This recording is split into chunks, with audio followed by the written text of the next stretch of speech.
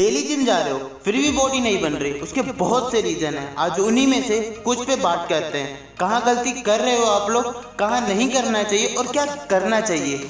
पहली बात तो किसी को भी अंधा फॉलो मत करो, क्योंकि जैसे आप देख रहे हो, क्या आपको पता है कि उसे कितना टाइम हो गया वर्कआउट करते हुए? उसका गोल क्या है जिसे आप फॉलो कर रहे हो? नहीं पता। बस जैसा वो करेगा, हम करेंगे। उसने एक घंटा कार्डियो करा तो हम भी एक घंटा कार्डियो करेंगे। चाहे आपकी बॉडी को पाँच से दस मिनट कार्डियो की भी नीड क्यों ना हो।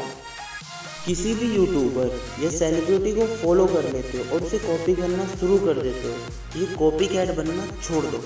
आप देखते हो टाइगर ने, सलमान खान ने इतने किलो के डंबल उठाए, इतनी देर कार्डियो करी, इतना वर्कआउट करा। अरे वो सेलिब्रिटी है, उन्हें छोड़ दो आप, उन्हें बहुत टाइम हो चुका है वर्कआउट करते हुए। और अपनी बॉडी को खुद समझो, उसे किस चीज़ की नीड है। अगर नहीं पता चलता खुद से तो अपने जिम ट्रेनर से बात करो, वो गाइड करेगा आपको। बट खुद से किसी को भी देख के अपना पर्सनल ट्रेनर मत बनो। अब बात करते हैं वर्कआउट और डाइट की। वर्कआउट तो आपकी ऑन पॉइंट होती है जिम में, जब तक आप खुद को शीशे में देख के वर्कआउट कर रहे होते हो। खूब मन लगा के वर्कआउट करते हो। जिस दिन आप सीरियस होते हो, और बाकी दिन का क्या, एक दिन सीरियस होने से बॉडी बन जाएगी आपकी? नहीं बनेगी। इसके लिए आपको हर दिन मेहनत करनी पड़ेगी। फुल इंटेंसिटी के साथ वर्कआउट करना पड़ेगा आपको। कभी आपने किसी बिगिनर को देखा है जिसका अभी फ़र्स्ट वीक होता है जिम में? वो कितनी मेहनत से मन लगा के वर्कआउट करता है। अपना हंड्रेड परसेंट देता है वो और जल्दी जिम से घर भी नहीं जाना चाहता।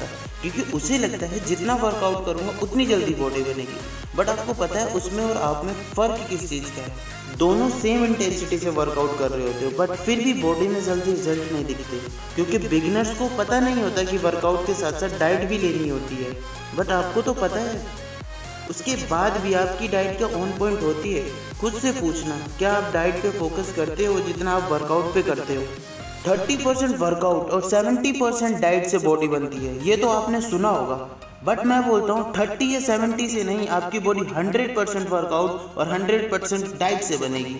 जितना ध्यान आप वर्कआउट पे देते हो उतना डाइट पे देख देखो, फिर देखो आप रिज़ल्ट आपकी बॉडी नेक्स्ट लेवल होगी। अगर उतना नहीं दे सकते, आप कम से कम 60 परसेंट सेवेंटी परसेंट नहीं दे सकते तो 50 परसेंट तो आप डाइट के ऊपर फोकस करो।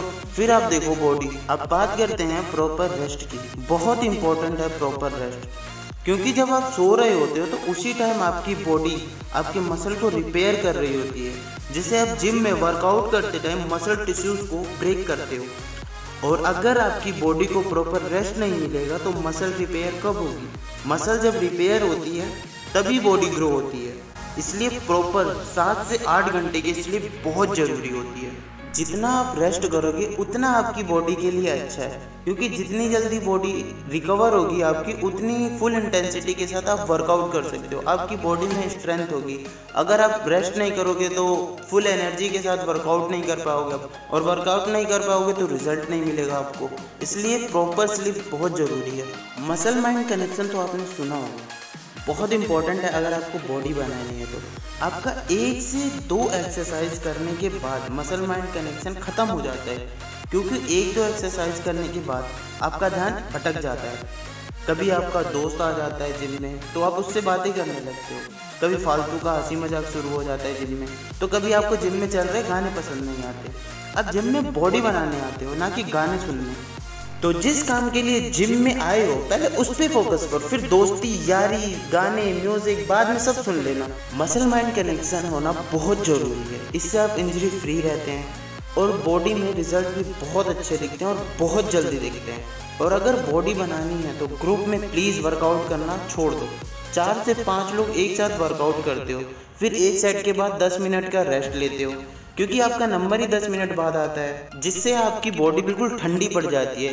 इसका कोई फ़ायदा नहीं होता और ग्रुप में वर्कआउट करने से बस नुकसान ही है, कोई फ़ायदा नहीं दिखता मुझे। एक पार्टनर रखो बस, अगर आपसे अकेले वर्कआउट नहीं होती तो। बट ग्रुप में वर्कआउट मत करो, इससे ना तो आपका मसल माइंड कनेक्शन बनेगा और ना ही आपकी बॉडी अब बात करते हैं ईगो लिफ्टिंग की। कभी भी ईगो लिफ्टिंग मत करो।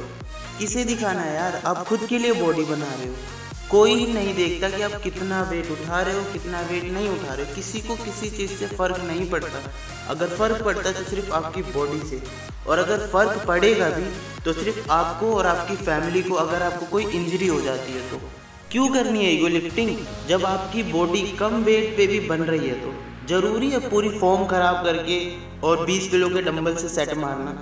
अगर आप 20 के डंबल से बाइसेप्स कर लगा रहे हो और आपकी फॉर्म ख़राब है या फिर आप हाफ़ उठा रहे हो तो क्या मतलब है उसका? इससे अच्छा तो आप 10 के के डंबल ले लो, इससे अच्छा रिज़ल्ट मिलेगा आपको। और जो आप 20 के के डंबल से हिल हिल के वेट मार रहे हो, वो भी 10 के के डंबल के बराबर ही है। और इसमें रिस्क भी है इंजरी का। कम वेट से करो बट प्रॉपर करो। एक एक रैप आपको फील होना चाहिए, जिस भी मसल की आप वर्कआउट कर रहे हो। फालतू में अगर आपको इंजरी हो गई तो सोचो क्या होगा।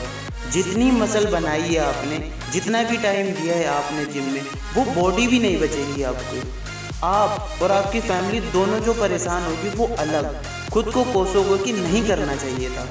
बट उसके बाद तो कोई फ़ायदा नहीं है ना अगर इंजरी हो गई तो। और फिर ईगो लिफ्टिंग तो छोड़ो नॉर्मल वेट लिफ्टिंग भी नहीं कर पाओगे। सो हार्डवर्क के साथ साथ स्मार्ट वर्क करो, बॉडी अपने आप बनेगी। अब बात करते हैं वर्कआउट के फॉर्म की। जितनी अच्छी आपकी फॉर्म होगी, उतनी अच्छा आपको रिज़ल्ट मिलेगा, उतनी जल्दी मसल ग्रो करेगी।